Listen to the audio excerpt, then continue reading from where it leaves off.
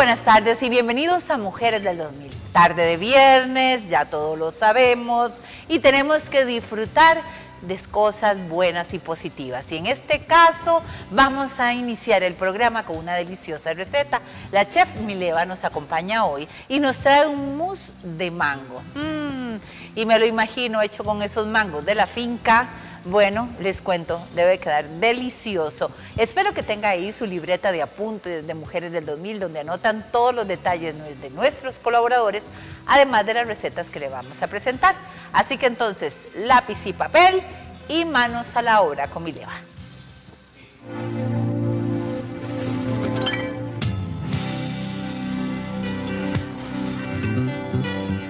Buenas tardes, Bienvenidos a un espacio más de Mujeres del 2000. Les saluda Mileva Zúñiga de Innovación Gastronómica.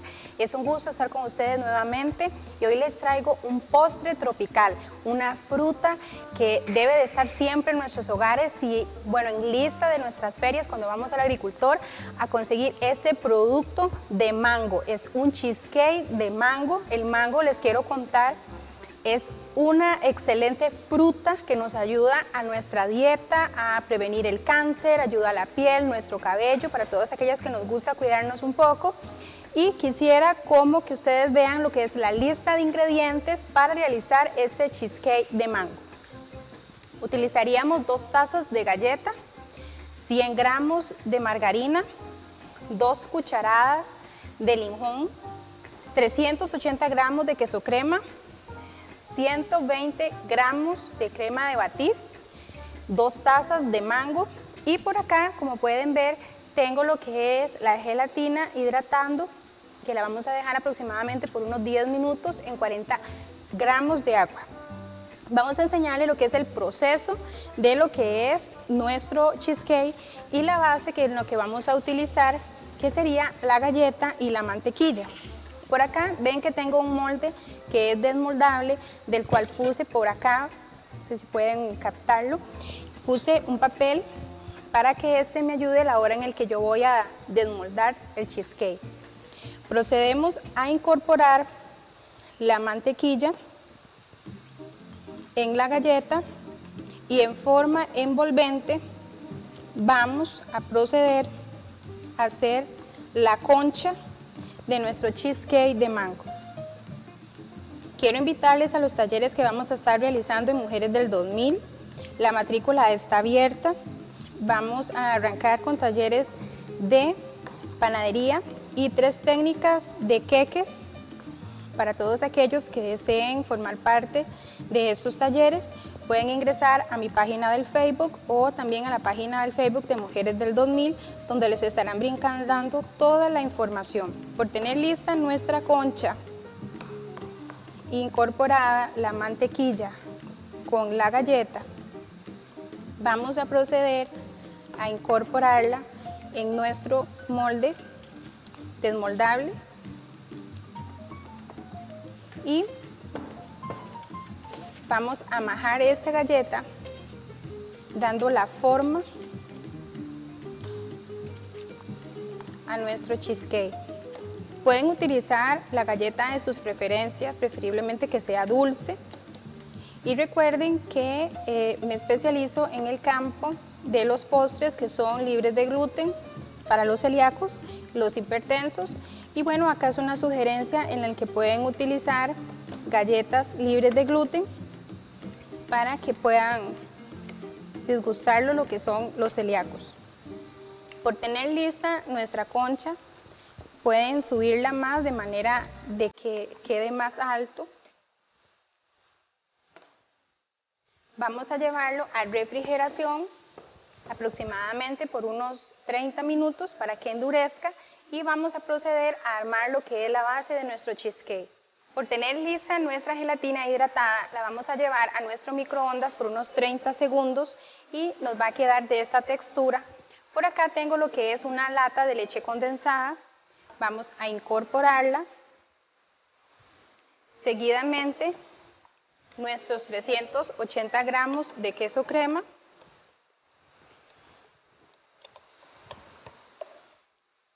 El jugo de nuestro limón que son aproximadamente dos cucharadas de jugo de limón.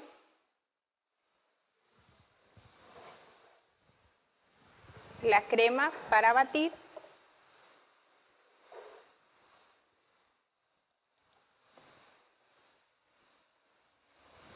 Y nuestro mango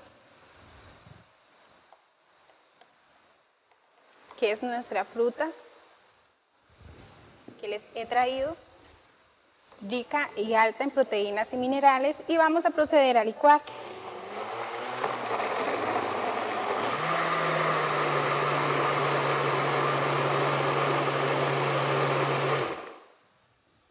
Paramos nuestro licuador y vamos a ayudarle en el proceso en el que vamos a tener listo Miren qué delicia, ya va cambiando lo que es el color, se están incorporando. Y vamos a proceder a llevar nuestra mezcla al molde desmoldable. Vean que es un postre fácil, práctico, exquisito, es alto en proteínas, como les mencionaba, el mango es una fruta que nos ayuda bastante a nuestro cuerpo y lo vamos a llevar a una refrigeración aproximadamente de unos 30 minutos y vamos a hacer lo que está acá, en, si pueden por acá ayudarme, que es el mousse, que es técnica de espejo, que lo vamos a realizar con gelatina. Vamos a tomar una taza de mango, lo vamos a hervir con una taza de azúcar y vamos a crear lo que es eh, esta mielcita y al final lo decoramos con nuestro mango y es un postre delicioso, es una sugerencia que les traje hoy. Ha sido un placer estar con ustedes en un espacio más de Mujeres del 2000 y esperen, estén atentas porque en el próximo espacio les voy a traer una sugerencia deliciosa de innovación de todo lo alusivo al Día de Nuestros Padres. Entonces están cordialmente invitados a que sintonicen Mujeres del 2000 y esperen el espacio eh, con toda la tendencia e innovación para el Día del Padre. Ha sido un gusto estar con ustedes, bendiciones en sus hogares.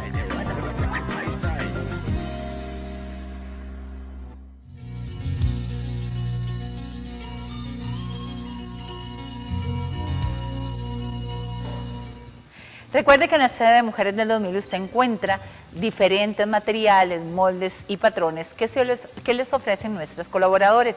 Además, la línea de productos Smash también la encuentra en la sede de Mujeres del 2000. Hay cursos que se preparan los días martes, miércoles, jueves, viernes y sábado. 22 23 48 80 es el número de teléfono.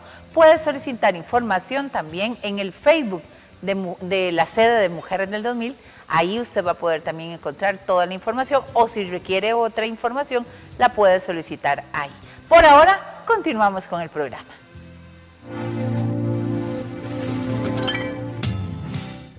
Muy buenas tardes, qué gusto que usted nos acompañe nuevamente aquí en su programa Mujeres del 2000 y en sus segmentos de pinceladas.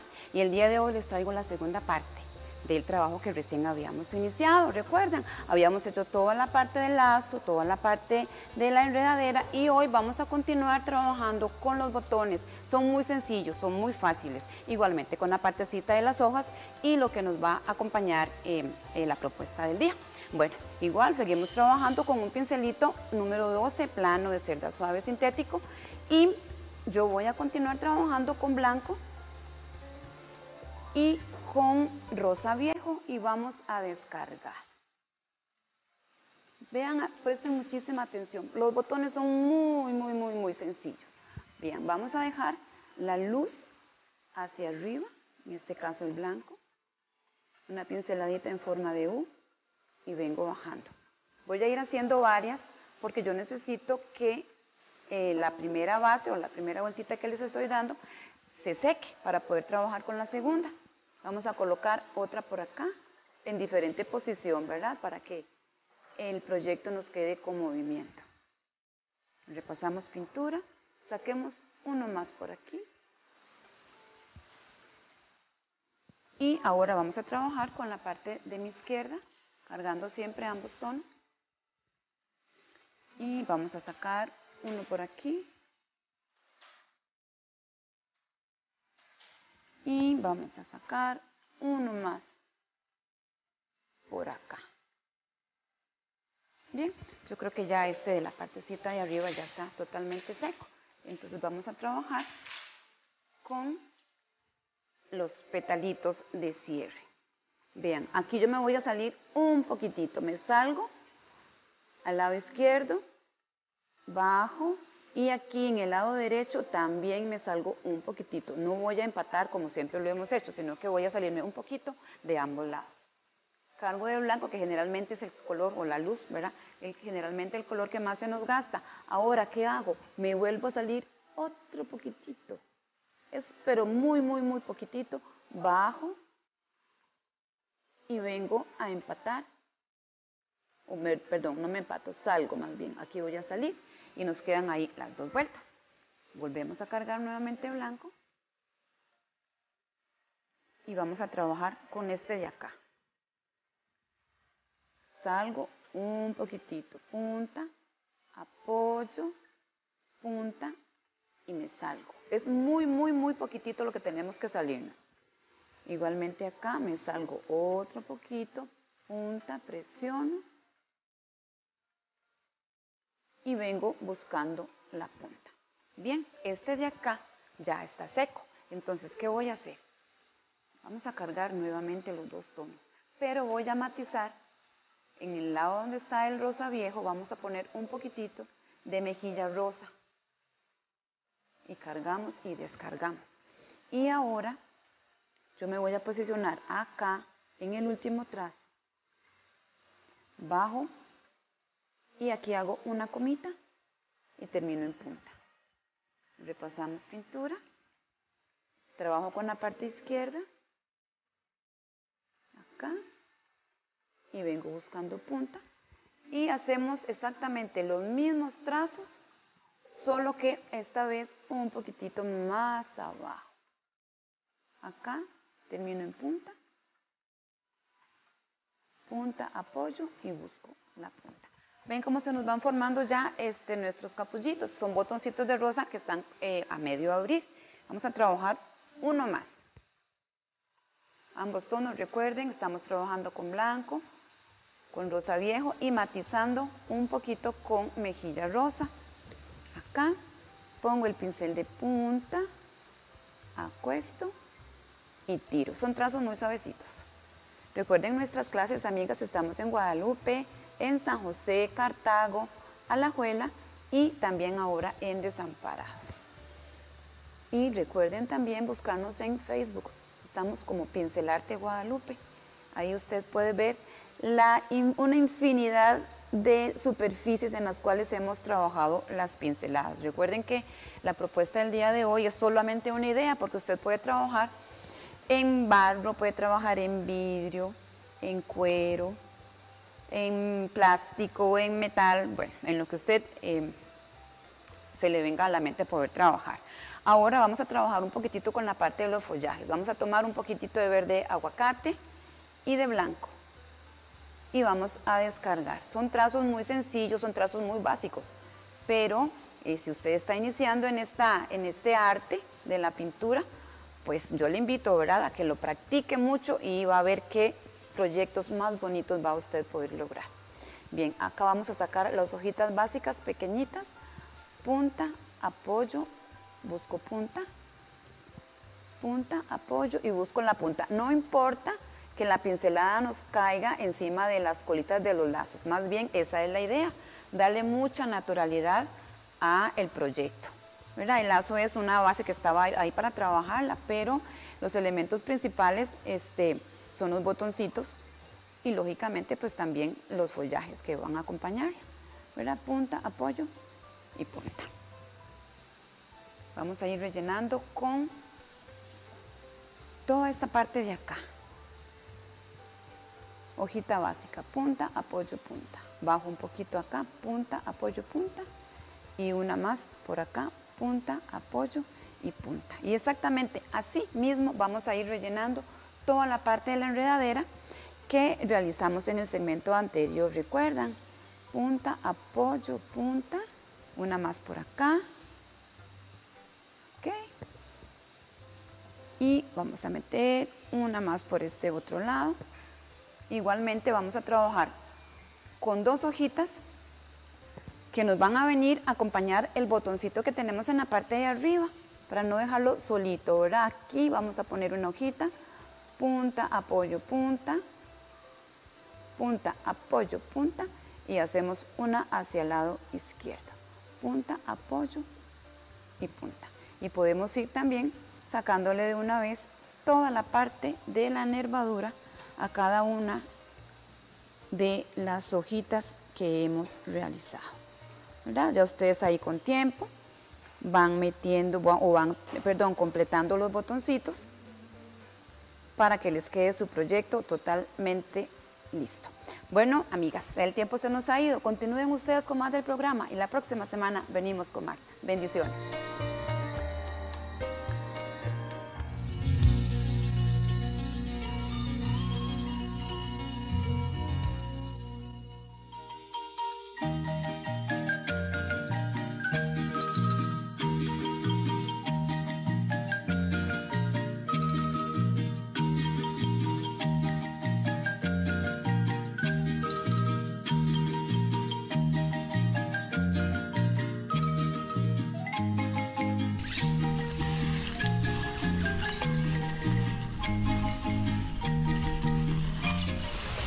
Hoy les quiero mostrar a ustedes cómo hacemos el abono orgánico que utilizamos aquí en el terrenito de Mujeres del 2000. Este es un abono que lo hacemos con tres, eh, con boñiga. Les voy a mostrar yo aquí donde tenemos la, donde vamos echando la boñiga del corral. Pueden ver, lo que hacemos es que la amontonamos para que le dé el sol. Una vez que ya se está desintegrando con el sol, la vamos a utilizar. Después, con el calor del sol. Después tenemos allá al otro lado las hojas. Ven, todas estas hojas es cuando barremos los patios de la, de la casa, cuando barremos aquí el terreno, no quemamos las hojas, sino que nosotros las vamos dejando aquí. ¿Ven? Cómo las, el mismo sol se encarga de cocinar para poder despedazar fácilmente estas hojas. Entonces, ¿qué es lo que hacemos? Tenemos las hojas, tenemos eh, la boñiga del corral. Ya aquí lo hemos puesto las tres cosas, que es la boñiga, las hojas y la, eh, la ceniza. Puede ser ceniza o puede ser cal que usted compre en alguna ferretería o en algún lugar. Así es que como usted quiera hacerla. Aquí donde yo lo tengo, pueden ver, ya está desintegrado. Vea, este tiene mes y medio de estar al sol. Lo que hacemos es que le ponemos a veces un poquito de, de agua para que se desintegre más fácilmente. Aquí teníamos las hojas del árbol de, mango, el zacate que se ha cortado, la boñiga y la, la ceniza, ya que nosotros aquí en el terrenito cocinamos con leña, entonces, ven, están los tres elementos que ocupamos. Ahora les voy a mostrar cómo lo vamos a zarandear. En este tarro también yo tengo boñiga, ven, Aquí tengo boñiga aparte, esta es solo boñiga, esta no tiene nada, nada de, hoja o solo la hoja que se recoge aquí en el corral. Este abono a nosotros nos sirve aquí para sembrar eh, chiles dulces, maíz, ayotes, todas estas plantas que ustedes ven aquí por el sol de este verano, como aquí es en Punta Arenas, lo que eh, las tengo en recuperación. ¿Y qué es lo que hago para que se me recuperen y se llenen de flores? Les pongo este abono y suficiente agua, aunque aquí da mucho el sol. Una vez que ya ha pasado mes y medio o, un mes, en, ¿qué es lo que vamos a hacer? Yo tengo aquí una zaranda de estas eh, cajitas que regalan en los supermercados. Nosotros ahí en Santo Domingo los recogemos en los supermercados, le puse un pedacito de la mallita así y cuatro alambritos a los lados y ya esto es lo que nos va a servir de zaranda. Aquí la tengo, vean. Aquí la tengo yo. Vamos a coger este poquito. Vean ustedes. Vamos a desintegrar un poquito más. Lo grueso no hay ningún problema porque también lo podemos echar en otro. Lo volvemos a poner en el mismo lugar para que se vaya, se siga desintegrando. Aquí pueden ver ustedes, lo hacen de la forma que ustedes quieran. Queda muy práctico con esto. ¿Ven? Voy a echarlo. Vamos a ver aquí.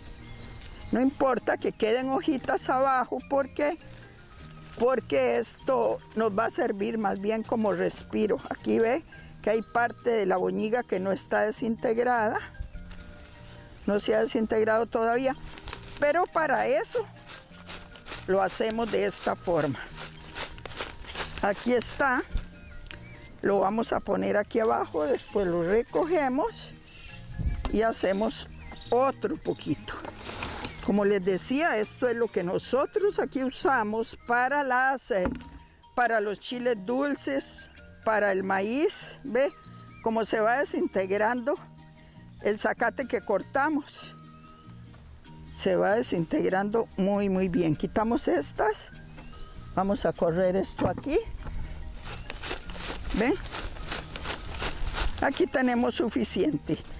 Esto, como les digo, lo ponemos en, la, en las plantas. Ahora les voy a mostrar.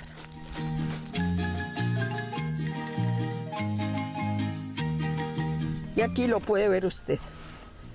Vea la consistencia de este abono orgánico.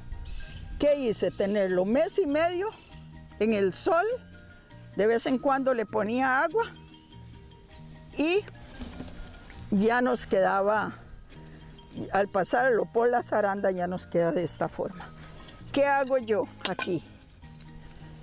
Lo utilizo para todo, como les digo, para las plantas. Yo tengo aquí, como es un lugar tan caliente, y yo cojo los helechos de las palmeras de aquí, de, de Punta Arenas, puede ser. Yo los tengo aquí, ¿ven? Estos son helechos que nunca me van a fallar porque son de calor. Son de los que ustedes ven a veces en las plantas de a la palma de aceite. Entonces, ¿qué hacemos? Yo vengo, les pongo de este abono y los helechos siempre están muy bonitos en la cocina de aquí del terreno.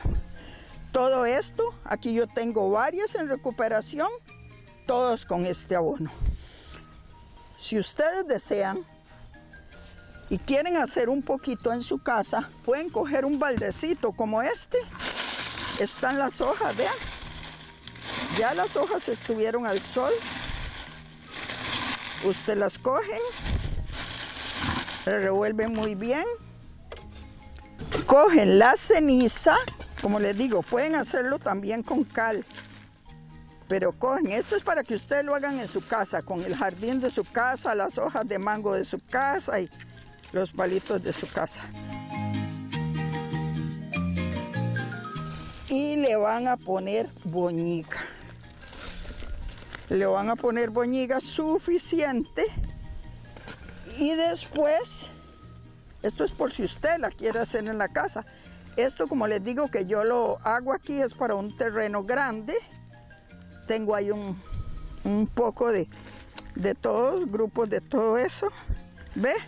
Lo humedece un poco, lo llena hasta arriba, lo tapa con un plástico y lo deja reposar. Cuando eh, después, si quiere, lo pone a secar nuevamente al sol y lo pasa por la zaranda y ya va a tener este mismo abono orgánico. ¿Ve? Entonces, de estos tres elementos vamos a hacer este abono orgánico. Más adelante les voy a enseñar cómo utilizando este abono orgánico y una tierra arenosa podemos poner los árboles de caña fístula, podemos poner las matas de chile dulce. Muchas gracias y los esperamos en la próxima.